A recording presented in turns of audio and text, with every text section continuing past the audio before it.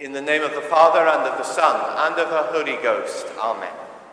St. Paul tells us in the epistle all that you do, in words or in works, do it in the name of our Lord Jesus Christ.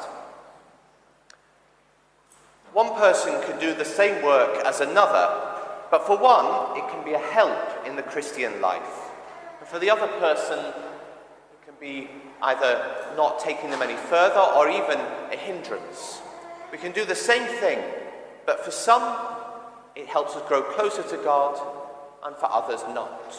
Why is this? Some of it comes down to the reason we do things, the intention behind our actions. Take a simple example. We give money to charity. We can do this for three reasons, we might say. Firstly, we can do it because we love God, because the per- people we help through our charity are made in the image and likeness of God. So we do it for the love of God. The second reason we might give to charity is out of human sympathy, trying to help another person. And the third reason we might do it is to try and look good. You know, I've given so and so much to charity, look at me. For the first, if we do it for the love of God, that obviously helps us grow in holiness. It helps us become a better Christian. The second reason to do it out of human sympathy is morally good, but it could be better if we did it for a deeper intention, a higher intention. But the third reason, doing it to look good, actually leads us to sin. It leads us to pride, doesn't it? So the same action is changed by the reason we do it, our intention. Jesus tells us elsewhere in the Gospel that we should be faithful to him in the little things of life. He says, Well done, good and faithful servant. You've been found faithful in small things. Now you will be given much greater. The actions of our daily life are not neutral in the spiritual life. It's not as if we have our Christian life over here and our ordinary life over here, and they're kind of separate things. But our faith should permeate everything we do. But this doesn't mean that everything we do, it has to be, you know, preaching the gospel or praying, continue, praying uh, with, with no interruption. That's not exactly what it means but our ordinary actions can be done with a good intention of serving God. The ordinary things of life must be made holy, sanctified, like doing the dishes, cleaning the house, our work, our classes at school or university, our conversations and friendships.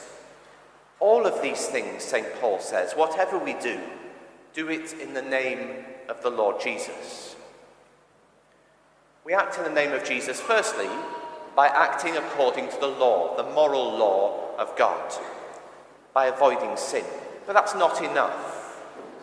The next step in doing what we do, word or work in the name of Jesus, is by correcting our intention, why we do it.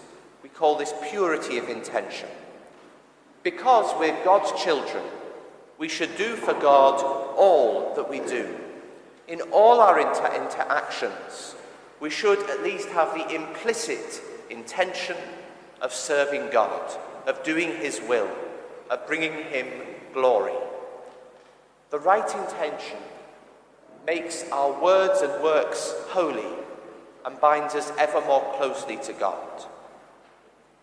At the beginning of each day, we should offer the whole day to serve God. I'm sure many of you do this already, making the morning offering. If you don't, if you look in your missal or your prayer book, you'll find in daily prayers probably a, a morning offering, an example of a prayer we can say to give the day ahead into God's hands, to offer our words, our works to God. But that's not enough just to start the day in that way, because we all know that we can be very easily distracted, we can start off really well saying, Yes, Lord, the whole day is for you. But then we can sort of begin to find that we're doing things for ourselves out of selfishness or pride, or other things can sneak in as the day goes along. So we have to correct that intention throughout the day. Some of the saints had the practice that at the beginning of each hour, when the clock struck the hour, they would say a Hail Mary to offer the hour to God. It might be that when we begin a new work, a new class at school, or begin a new task at home, we make an offering in our minds of that work to God. Little prayers like, All for you, Jesus, in the name of God, making the sign of the cross. Little simple acts to remind us that this next action we do to serve God. And of course, the greatest way of offering our daily work, our daily actions to God, is by uniting them with Jesus in his offering of himself to God the Father. This offering of himself, which we find in the Holy Mass. When we come to the offertory of the Mass, we can bring in spirit to the altar all that we've offered to God through the week, hour by hour, day by day. As the priest offers the bread to God at the offertory, we can offer our works. As the priest offers the chalice, we can offer God our sufferings.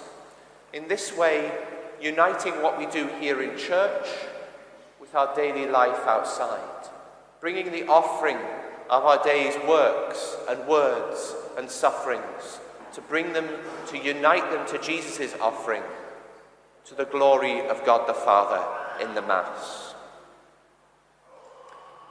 St. Teresa of Avila teaches us the Lord doesn't consider so much the greatness of what we do, but rather the love with which we do it. This is the secret to holiness in daily life. Brother Lawrence of the Resurrection, in his book, The Practice of the Presence of God, says, Lord of all the pots and pans, make me a saint by getting meals and washing up the plates. With purity of intention, every action, even the simplest, even the most mundane, can become a means of serving God. Everything can be for His glory. We're all called by God to become saints, to become holy, but we don't have to wait for our next retreat or a moment of conversion or beginning a new vocation. We can start today, here and now, by offering the events of this day to the glory of God.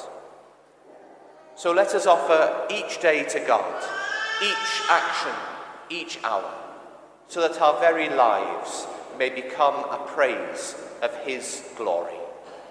In the name of the Father, and of the Son, and of the Holy Ghost. Amen. Don't forget to click subscribe and click the bell to be notified of future videos.